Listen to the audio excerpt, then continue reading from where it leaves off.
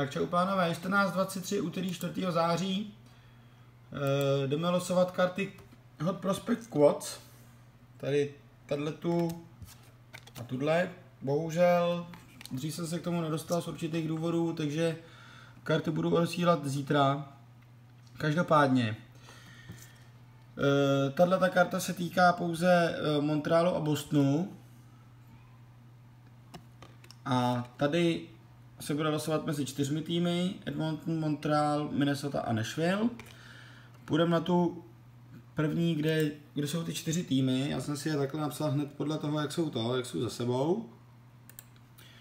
Tady už mám připraveno, že jdeme losovat o karty Hot Prospect Quads. To odmáčknu. Čas je 14.24. To nám tady sedí. A jdeme, losujeme třikrát, kde je po třetí na prvním místě, vyhrává kartu. Raz. Dva. Dám timestamp, abyste mi to nenadávali.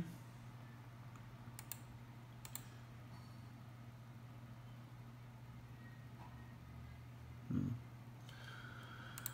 Klasicky, sráč. Klasicky se mi to tady neto.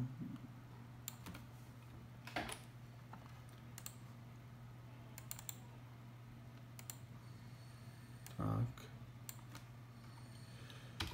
Tak, timestamp.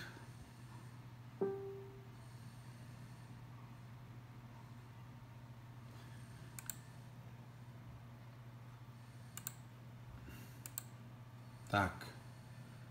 A na potřetí kartu získává tým Montreal Canadiens.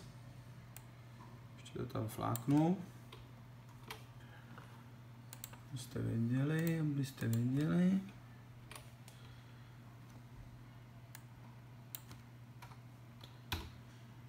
Tak. Takže to byla ta eh, karta, tato, tu získal tým Montreal Canadiens a teď jdeme na tu druhou, která je mezi Montrealem a Bostonem. Napíšu, losujeme druhou. Hlasujeme druhou kartu.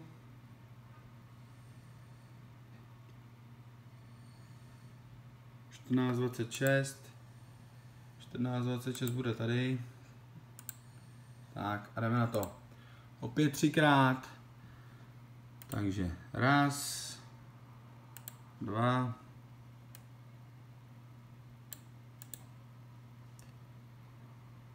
kopírovat.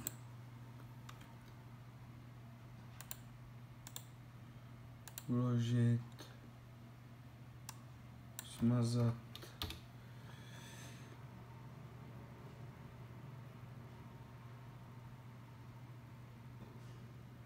Čtrnáct dvacet šest, čtrnáct dvacet šest a po třetí prásk a kartu získává tým Boston Bruins.